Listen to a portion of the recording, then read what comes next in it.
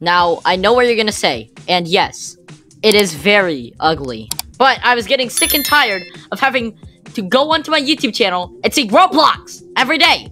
It's so annoying, so I decided to just get a logo. Now, before we continue with today's very awesome video, I would just like to tell you that about 61% of you are not subscribed. So, please subscribe. It would help out a lot. Thank you. Oh yeah, also, I have a merch store. You can find it at merch.streamelements.com slash PCBotYT. We don't have much on there yet, but we do have some really cool PCBot Teaches Things shirts that I'm sure you guys will love. I'm also going to take this time to plug my Twitch and my Twitter, which you can both find on the banner on my YouTube channel. So if you've been missing those PCBot live streams, head over to my Twitch as I've been streaming there more frequently. And that's really going to be about it for this video. If you did like it, please subscribe. It would help out a lot, and I will see you all later.